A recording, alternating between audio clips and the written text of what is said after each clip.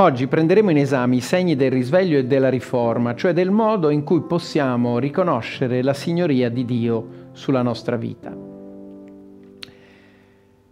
Sin dall'inizio era fondamentale che gli esseri umani eh, riconoscessero chiaramente chi dovevano considerare come padrone e signore. Dio aveva stabilito dei segni di proprietà e autorità per i nostri progenitori. Per questo motivo riconoscere l'autorità di Dio è rimasto un elemento essenziale per i credenti di tutte le generazioni. L'Apostolo Paolo presenta l'autorità come condizione di salvezza, perché dice, se con la bocca avrai confessato Gesù come Signore e avrai creduto con il cuore che Dio lo ha risuscitato dai morti, sarai salvato. Riconoscere Gesù come Salvatore e Signore è essenziale per la salvezza. Gesù il Signore spiega che l'autorità è molto più che una confessione verbale. Non chiunque mi dice Signore, Signore, entrerà nel regno dei cieli, ma chi fa la volontà del Padre mio che è nei cieli. L'autorità deve essere riconosciuta con azioni concrete e tangibili. In che modo dimostriamo che Dio è il Signore? In due dimensioni fondamentali della vita, il tempo e lo spazio. Fin dall'inizio il sabato è stato un segno dell'autorità di Dio sul tempo. Santificate i miei sabati e siano essi un segno fra me e voi, dal quale si riconosca che io sono il Signore il vostro Dio. Gli indicatori per riconoscere la sua autorità sullo spazio, il mondo materiale, secondo il profeta Malachia, sono invece le decime. Portate tutte le decime alla casa del tesoro, perché ci sia cibo nella mia casa. Ellen White in proposito scrive, Dio ci chiede di riconoscerlo come proprietario e per questo motivo dice, di tutto ciò che possedete mi riservo la decima parte e inoltre doni e offerte che dovete portare nella mia casa. Il segno nello spazio comprende tre elementi, decima, doni e offerte. La decima è il 10% delle nostre entrate. I doni sono regali speciali. Le offerte sono un riconoscimento sistematico e in proporzione alle benedizioni ricevute. Ellen White stabilisce un parallelismo tra l'osservanza del sabato e la restituzione della decima. Dio ha santificato il settimo giorno.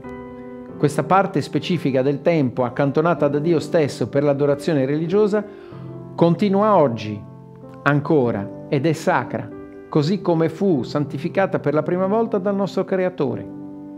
Allo stesso modo, una decima delle nostre entrata è santa davanti al Signore.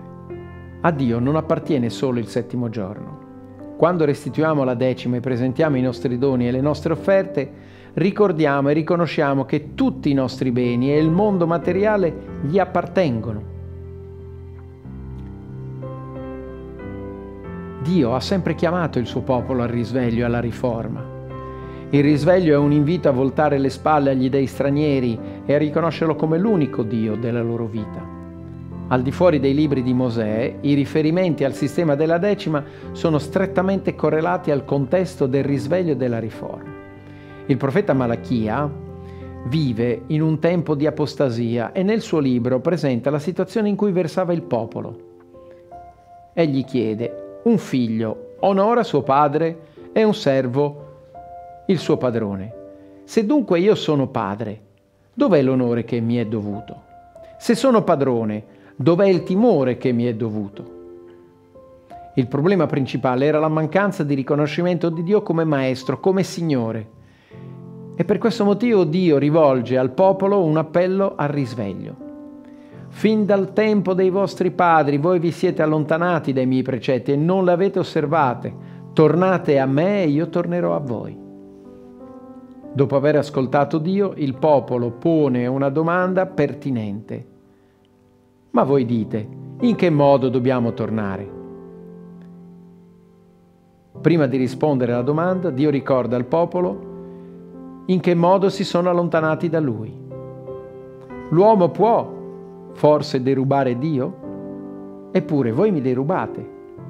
Ma voi dite in che cosa ti abbiamo derubato? Nelle decime e nelle offerte. In altre parole, Malachia dice, avete rubato a Dio l'onore che gli spettava in quanto Signore. La conversazione di cui ci viene riferito in Malachia si conclude con un appello. Portate tutte le decime alla casa del tesoro, perché vi sia cibo nella mia casa. Poi mettetemi alla prova in questo, dice il Signore degli eserciti. Vedete se io non vi aprirò le cateratte dei cieli e non riverserò su voi tanta benedizione che non vi sarà più dove riporto. Il processo di risveglio e riforma nel libro di Malachia può essere riassunto in tre fasi. La denuncia dell'apostasia, un appello al ritorno di Dio e una modalità corretta in cui produrre una riforma compresa la restituzione della decima e delle offerte. Questo messaggio si è radicato nella Chiesa e nel mio cuore? In questo momento il popolo di Dio riconosce l'autorità e la sua signoria? Un modo pratico per farlo è restituire fedelmente la decima e presentare offerte adeguate. È così che gli viene riconosciuto l'onore che gli è dovuto. Finisce qui la nostra settimana di riflessione sulla gestione cristiana della vita. Se questi momenti di meditazione e queste proposte sono state un'ispirazione per il quotidiano, se hai previsto fra i tuoi impegni di eh, iniziare la giornata comunicando con Dio nella preghiera e nello studio della sua parola, il programma di meditazione quotidiane apri la porta del tuo cuore, continua ad offrirti un'opportunità per proseguire il percorso.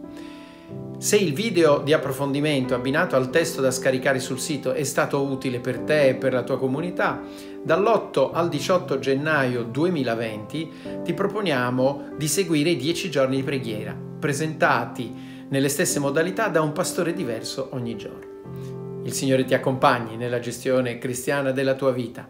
Ci vediamo a gennaio.